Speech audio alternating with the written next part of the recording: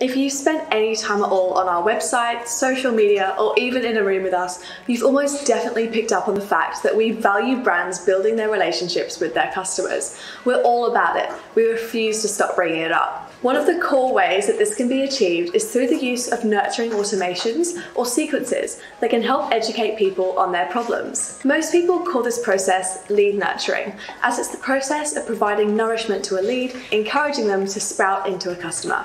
And by doing this, we've won over our leads and delighted customers. Want to do the same? Well, watch on as we break down the six things that create a good lead nurturing sequence. Hi guys, it's Liv here from Neighbourhood, where we help brands find, sell, and keep their people. To understand what lead nurturing is, you've got to look at inbound marketing. Inbound is all about helping people solve their problems. It doesn't necessarily just mean giving someone the answer.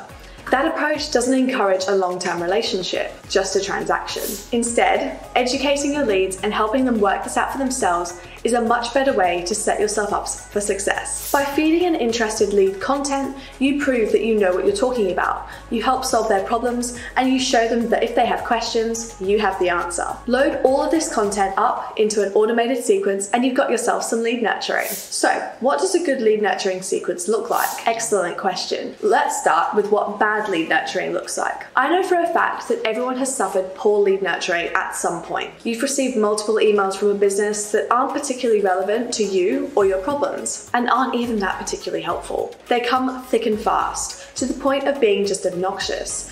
You don't feel particularly connected to the company, you don't think of them as an authority, and you haven't had your problem solved. These are all mistakes made by marketers who don't take lead nurturing as seriously as they should. If you want to create a nurturing sequence that drives conversions and creates invested, happy customers, then here are six guidelines we at Neighbourhood follow when setting up sequences. First of all, get the timing right. No one likes to receive emails every day from a company they're still only considering. It's a bit clingy and comes across as desperate.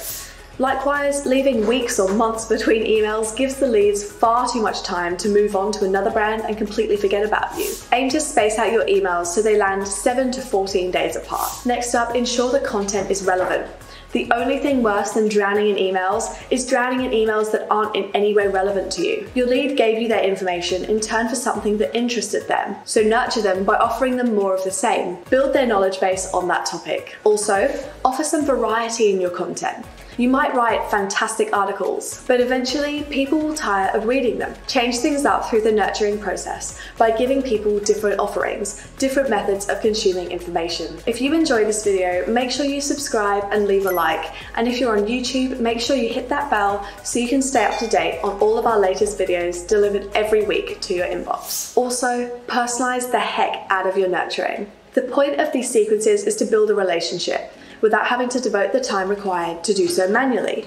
As such, little extras like personalization tokens where possible, ensuring the email comes from a person and not the business, and referencing information relevant to what the lead is interested in will go a long way. Ideally, the lead should think that these emails are being sent individually. Also, remember the goal of the sequence is conversion. It's really easy to forget what you're working towards sometimes with a long-term sequence, but every piece of content and every email should be an attempt to get the lead to convert to the next stage of your funnel. Once they do, be sure to remove them from your sequence too, so you don't keep trying to get them to do something they've already done. Also, Give the lead a way out of the sequence in each email. Likewise, some leads don't need a big, fancy, month long sequence in order to convert. You've won them over in just two or three emails.